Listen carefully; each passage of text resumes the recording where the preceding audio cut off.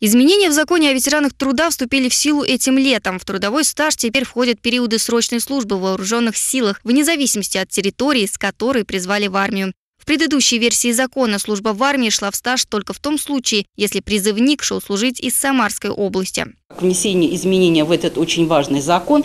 А, мы а, рассмотрели его в первом чтении на заседании регионального парламента. Сегодня мы выносим его на второе чтение. Практически не поступило никаких замечаний и рекомендаций, но тем не менее, на наш взгляд, он требует детального а, обсуждения, детальной проработки. За присвоением звания ветерана труда могут обратиться граждане, имеющие различные награды. Например, почетный гражданин Самарской области, знаки отличия за заслуги перед Самарской областью и материнской гражданская доблесть. При этом нужно, чтобы трудовой стаж был не менее 20 лет. Кроме того, почетное звание ветеран труда может быть присвоено, если общий трудовой стаж больше 35 лет у женщин и не менее 40 у мужчин.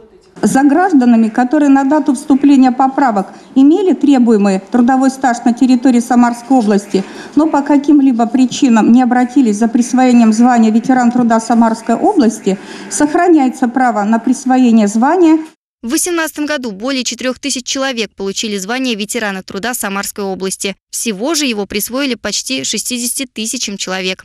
Депутаты выступили с инициативой добавить в список наград, на которые обращают внимание при выдаче звания ветерана труда, ведомственные. Решение комитета вынесут на рассмотрение в региональный парламент. Мария Левина, Григорий Плешаков. События.